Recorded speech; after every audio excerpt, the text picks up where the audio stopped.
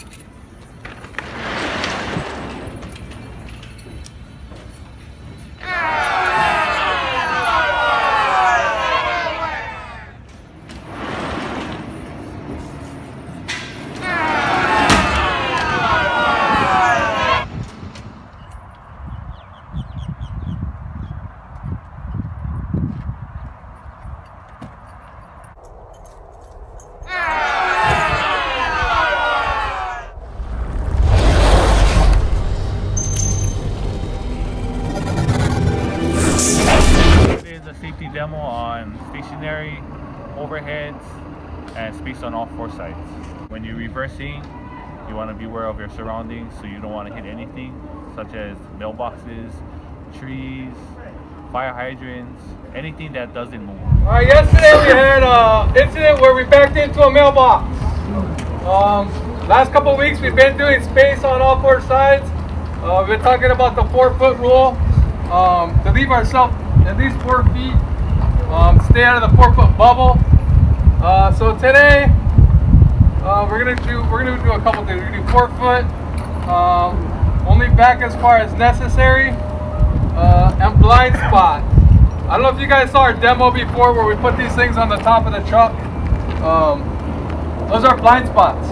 If we're backing up to a dock, backing up to a tree in a residential neighborhood, um, an overhang, uh, anything inside this cardboard box on the top of the truck, that's a blind spot.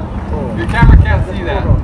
Um, uh, the rope here signifies four feet from this mailbox. Um, so when you're in a residential neighborhood and you have to back, leave yourself four feet. Um,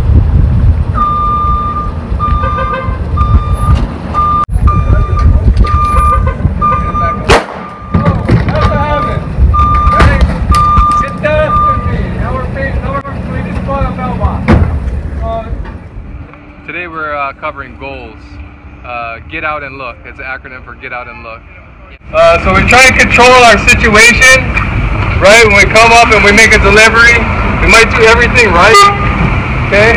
Dan's gonna come up to make this uh, delivery, and he's gonna pick a good park position, right? He stays four feet away from everything.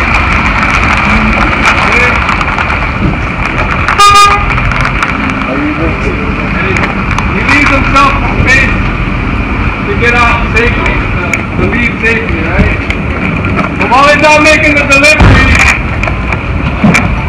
we get to enjoy all the cones and parks right in front of us, right? Now he takes away our out. Put us in a situation where we're not sure what's behind us. Uh, conditions can change while we're out making deliveries. When we return to the truck, um, things might have changed around the vehicle. So uh, if we're in doubt, we get out and look.